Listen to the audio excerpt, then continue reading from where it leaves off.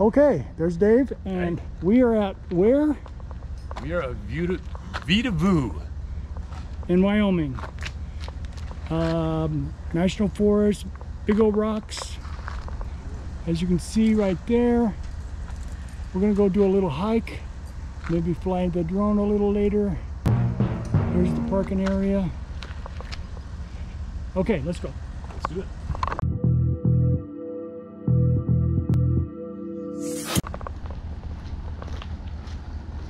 One nice thing about the, this kind of camera is that it's stabilized, unlike my other camera, which goes. Yeah, yeah your, your videos have definitely improved over the years. Yeah, I think so.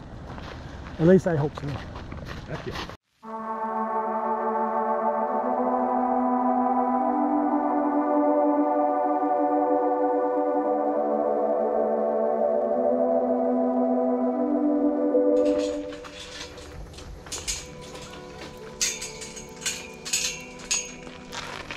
After you.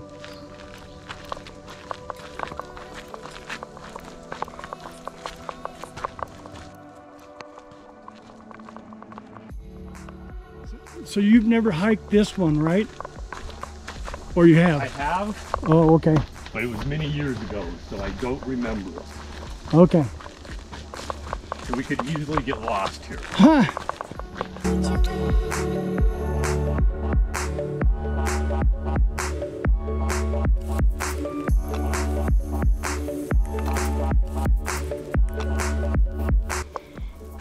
I gotta get a selfie here. buddy.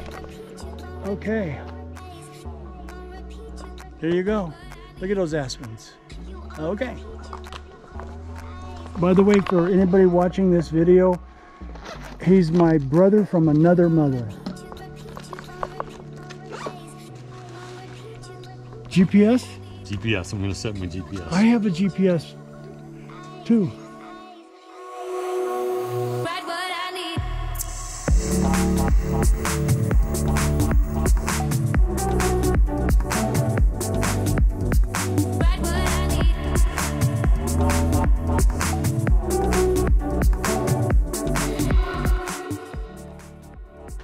Oh my goodness, that looks so cool up there.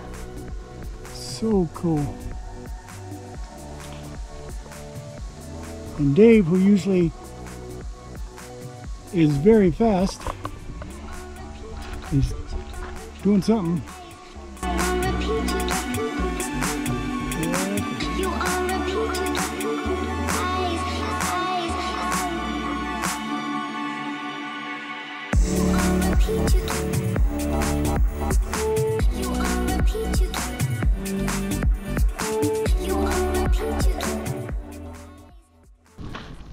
I hear footsteps. Going by. Oh, I thought it was Bigfoot.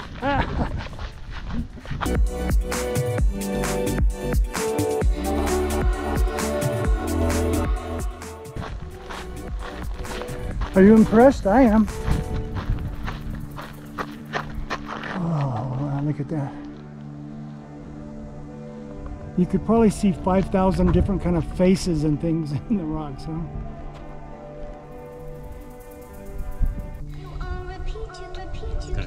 It's very cool. Okay, well, I'm ready. You on repeat. So what do you think about uh, the drone? Could you fly the drone from here? Sure.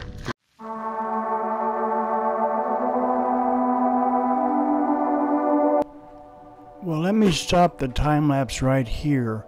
Do you see those guys coming up the trail to the right? They were really nice and friendly and um, asked a bunch of questions, told them about my YouTube channel, and they took off. And I'll continue the time lapse.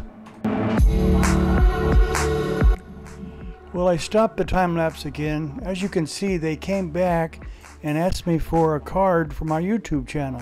And I said, sure. All this time thinking that the drone would be staying in place because it has GPS. Well, well, here is the drone footage that um, I took just before those guys showed up.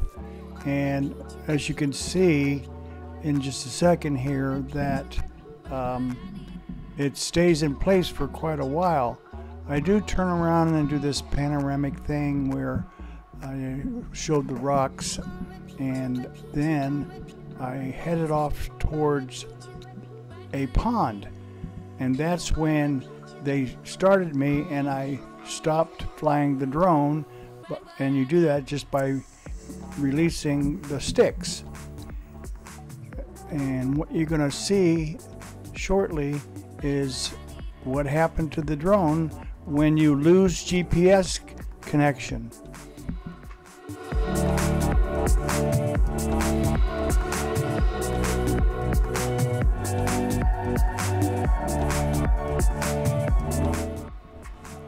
Okay, well, there's the po- pond, and you'll see here shortly that I kind of go towards it a little bit, and uh, that's basically when those guys stopped the second time and asked me for my business card. I also wanted to say after the crash that is coming up that um, the SD card that was recording everything was corrupted. So um, it took me quite a while to recover it, and um, it couldn't be recovered in 4K. The best I could do is 1080, so that's why it looks a little off, I believe.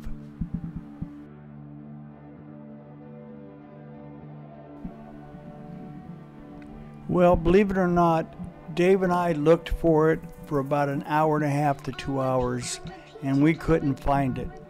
So we were pretty discouraged. We turned around, went back to the car, and then we drove back to Fort Collins, Colorado, which is where Dave lives. I dropped him off, and within a matter of seconds, I got a call from a really nice guy named Rich Adams, who is like a retired archaeologist. And he, the first thing he said was, Did you happen to lose a drone? And I said, Hell yeah. Well, to make a long story short, uh, I was in Fort, Fort Collins and he was in Laramie, Wyoming. We met halfway in the middle and he returned my drone t- to me. And I want to thank him profusely and say that he's a really great person for doing that.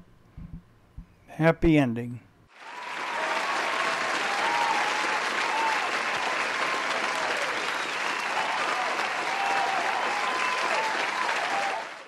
As you can see, the drone is just drifting with the wind, and that's because there was no GPS to keep it stabilized and in place.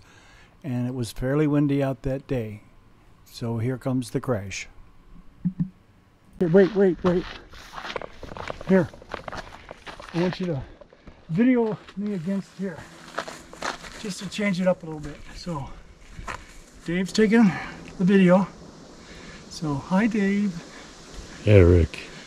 Okay, well yeah, as you can see, being the boulder freak that I am, I had to do this. All right, there we go. Just a little change up, okay?